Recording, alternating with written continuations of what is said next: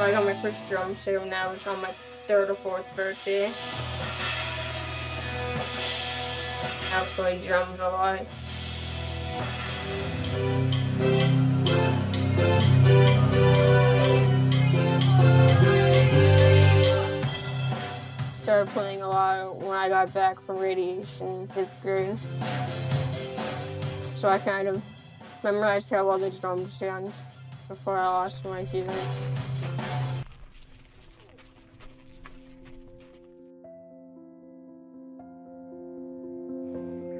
I was like six years old. And I don't really think I understood when my parents told me what NF is. I thought it was just a name for my leg or something. I didn't understand that was like tumors growing on my body and brain and stuff. When they asked us if he had neurofibromatosis when he first started exhibiting symptoms, I didn't even know what that was.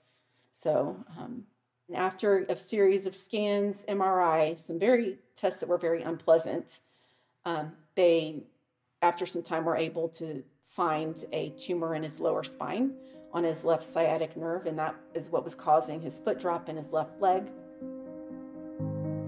And they asked us if he had neurofibromatosis, and that was the first time anyone had ever said that word to us.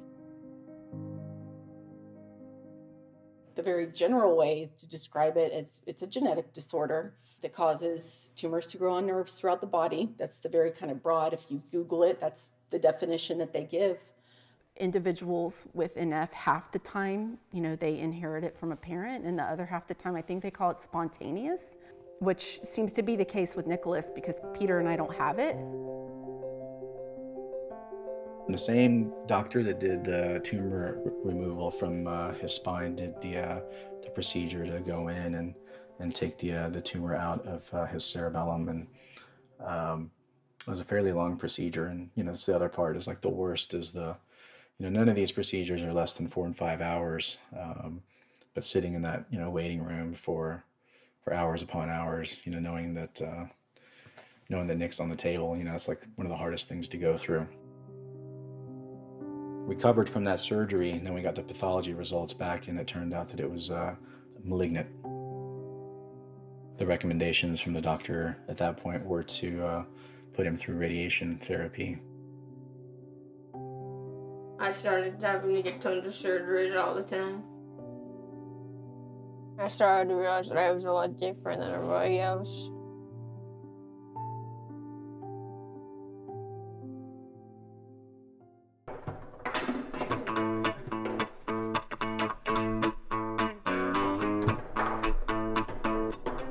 I really really nice friends. Really good at checking on me, and making me feel included and stuff.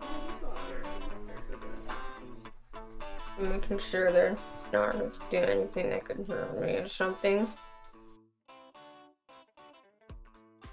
So these are called um, Jordan 1 Chicago Lost and Founds. They're pretty cool pair. I bought this right when I got back from my surgery.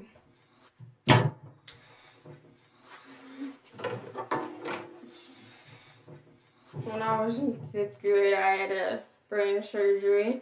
And basically, after they took it out, they wanted to give me radiation, so I had to do two months of proton beam radiation, and I had to wear this mask right here.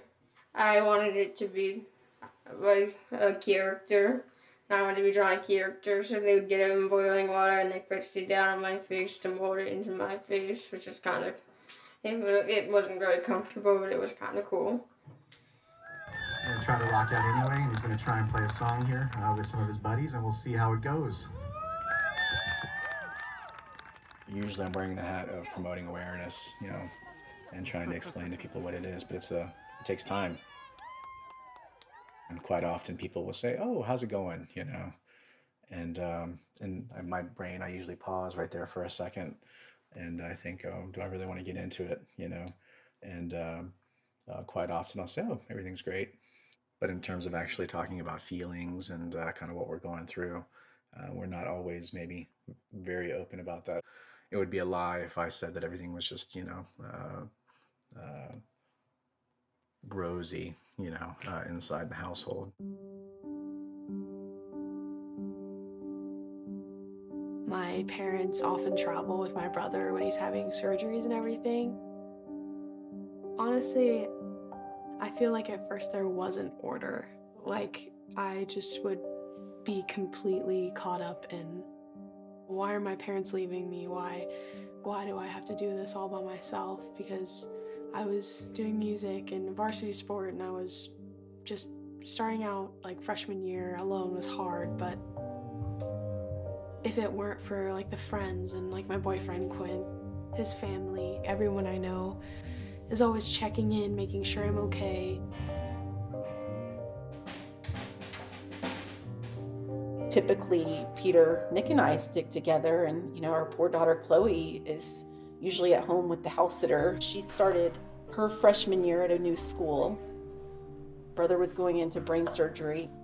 Being home alone, you know, she didn't have the normal support from her parents that her peers at the same school had. Nikki does have significant chronic pain. Um, again, it's something that kind of gradually progressed. I feel like after every surgery, his pain gets a little worse, and now we're at a point where we're trying to manage it so that he can sleep through a night, which he doesn't do.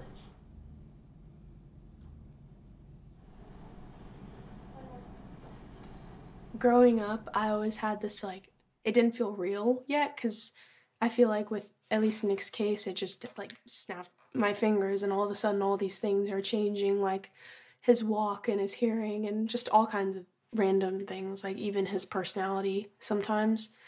And it, it didn't really feel real to me because he, he looked healthy, like when he was a kid. I feel like I took for granted like the times playing outside with Nick and playing music with Nick.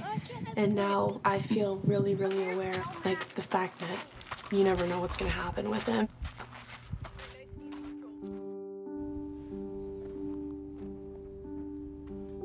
Nicholas would get like showered with gifts and love and attention and of course he deserved it. And I I completely support that. Like he deserves everything in the world.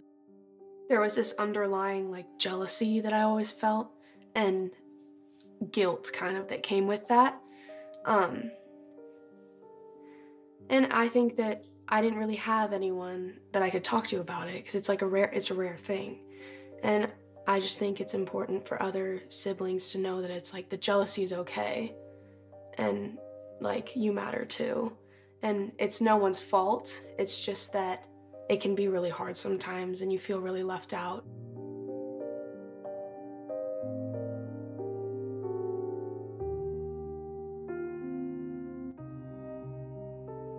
All of the opportunities he has for the best care in the world, you know, I just really struggle with how difficult it is to get that care for him. And I really often think about other families a lot.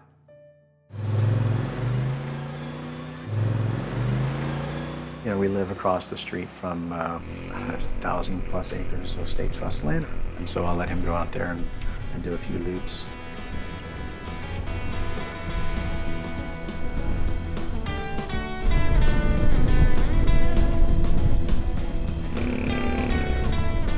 I want to show people that people that I can do the same as people out there.